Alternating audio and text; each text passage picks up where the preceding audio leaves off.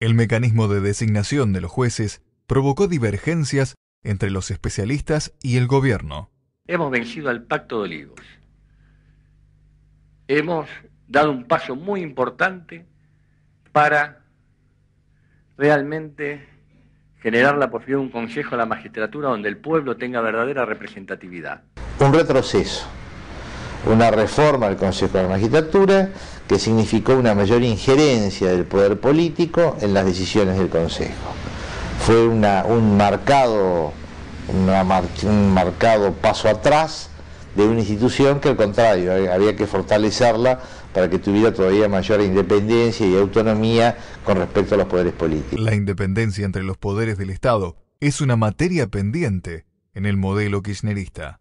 El, kirchnerismo, eh, por otro lado, utilizó muchísimos decretos de necesidad de urgencia, eh, impulsó cerca de 249, 250 decretos de necesidad de urgencia y impulsó por otro lado 170 leyes para que el Congreso apruebe.